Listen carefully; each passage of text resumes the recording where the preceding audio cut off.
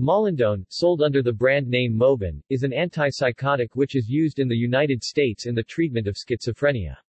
It works by blocking the effects of dopamine in the brain, leading to diminished psychoses. It is rapidly absorbed when taken orally.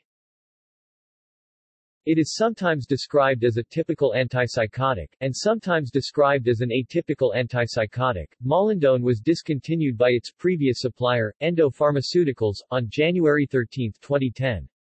It is currently available in the U.S. from CorePharma under abbreviated New Drug Application approved March 23, 2015. Adverse effects the side effect profile of molindone is similar to that of other typical antipsychotics. Unlike most antipsychotics, however, molindone use is associated with weight loss. Chemistry Synthesis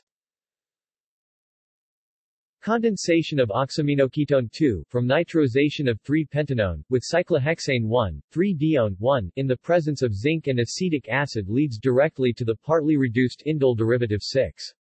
The transformation may be rationalized by assuming as the first step, reduction of 2 to the corresponding alpha-aminoketone. Conjugate addition of the amine to 1 followed by elimination of hydroxide as water would give enaminoketone 3. This enamine may be assumed to be in tautomeric equilibrium with imine 4. Aldol condensation of the side chain carbonyl group with the doubly activated ring methylene group would then result in cyclization to pyrrole 5. Simple tautomeric transformation would then give the observed product. Mannich reaction of 6 with formaldehyde and morpholine gives the tranquilizer molindone 7. See also